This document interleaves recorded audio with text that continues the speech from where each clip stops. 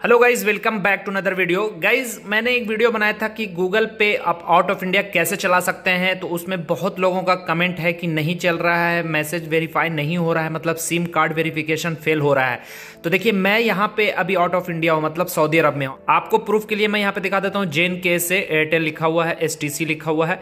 देखिए एयरटेल का सिम मेरे पास है और इसी मोबाइल में लगा हुआ है और इसी मोबाइल में हम सारा चीज़ यहाँ पे लाइव करके दिखाने वाले हैं।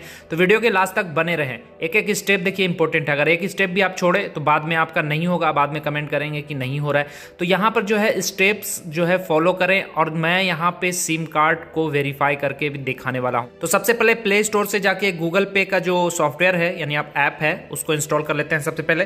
तो चलिए फटाफट से कर लेते हैं। देखिए एक चीज़ और यहाँ पे है कि बहुत लोग बोलते हैं कि मेरे प्ले स्टोर में गूगल पे आता ही नहीं है। तो देखिए भैया ये चीज़ ऐसा है कि मैंने उस पर भी वीडियो बनाया है। ठीक है, वीडियो का लिंक आपको डिस्क्रिप्शन में भी मिलेगा। यहाँ पर भी थोड़ी सी बता दें कि देखिए, होता क्या है कि आपका जो है प्ले स्टोर में कंट्री जो है सिलेक्ट इंडिया रहना चाहिए, तभी ये आएगा, जैसे मेरा यहाँ पे है। ठीक है? तो देखिए, ये आ गया। अब इसको इंस्टॉल कर लेते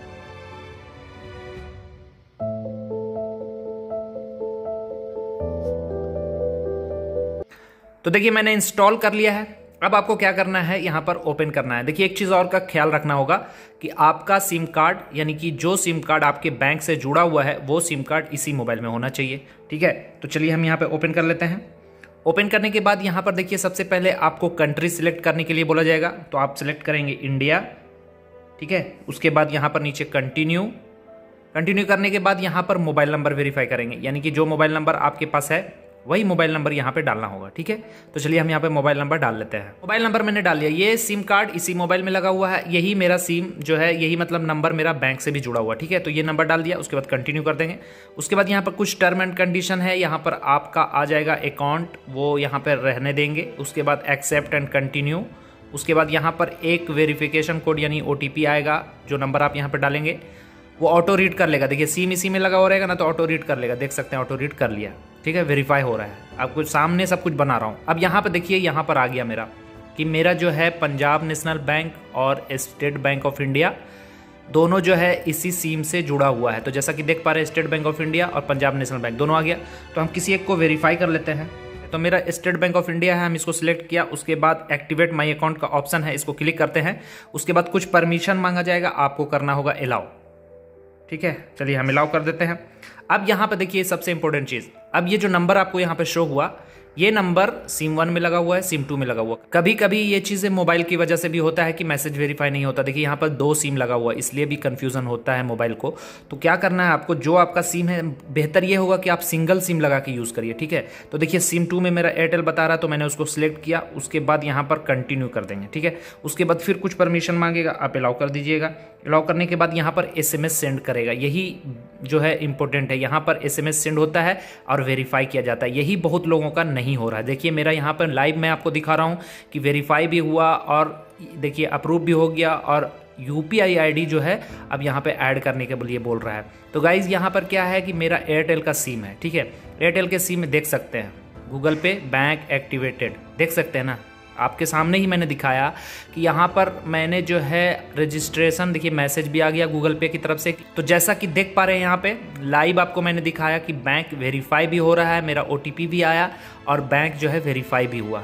आपके सामने यहाँ पर हम दिखा रहे हैं, ठीक है?